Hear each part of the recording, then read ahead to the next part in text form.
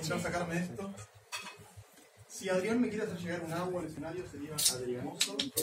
Si Vomitronic me quiere hacer llegar un agua al escenario, sería agua, agua, agua. Mientras tanto, les voy a contar que mi nombre es Ignacio Perini. Eh, ¿Qué les puedo decir de mí? Soy argentino. Es importante que lo sepan eh, porque uno sabe ¿no? que el acento argentino es un acento muy suave y si no se los digo no se sabe, no se entiende. ¿cierto?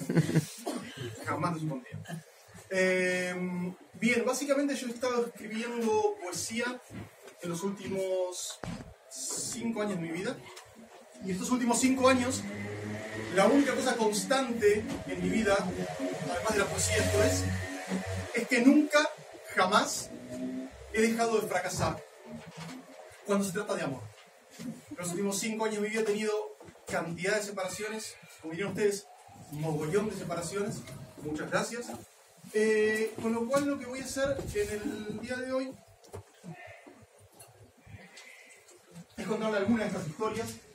Como para que se una idea, ustedes pueden estar pensando, ok, ¿cuántas separaciones puede tener una persona en tan solo cinco años? Lo voy a poner de este modo. Escribí un libro al respecto. Esta es más la cantidad de separaciones que he llegado a tener. No están todas. Por una cuestión de decoro he recortado, hay. Bien, para la primera mm, de estas historias, yo durante un tiempo salía con una chica que trabajaba con computadoras, programación, redes, algo por el estilo. Nunca entendí bien. Quizás ese fue el problema. No lo sabemos. Pero la cuestión es que no funcionó. Nos separamos. Pero ella me caía bien. Entonces cuando nos separamos yo quise explicarle las cosas de un modo que ella pudiese entender, en un lenguaje que ella pudiese entender.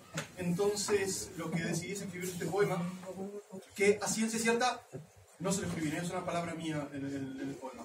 Lo que hice es, ¿vieron cuando ustedes están utilizando, utilizando el ordenador eh, o navegando por internet y les saltan estas ventanas con mensajes de error? Sí, no sé. Sí, bien. Lo que hice básicamente fue tomar todos estos errores, poner uno tras de otro, tras de otro, y eventualmente terminé con esto entre mis manos que, si tenemos suerte, va a sonar como un poema.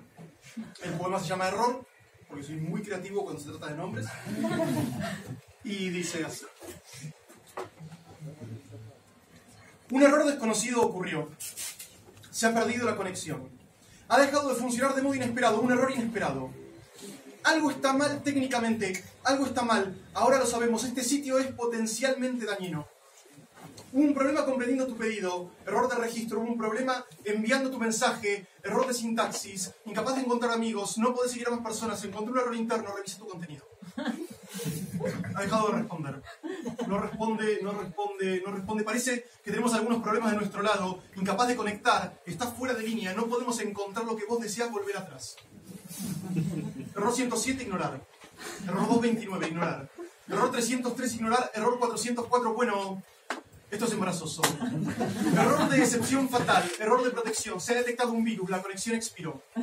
Este sitio no es confiable. Tu conexión no es privada. Tu conexión no es segura. La unidad no existe. Volver a intentarlo, volver a intentarlo, volver a intentarlo. Estamos experimentando dificultades técnicas. Volver a intentarlo, volver a intentarlo, volver a intentarlo. Por favor, volver a intentarlo más tarde. Este mensaje es demasiado largo. Puedes esperar a que respondo, matarlo, aprender más, revisar tu contenido, aprender más. Este mensaje es demasiado largo, perdón algo salió mal.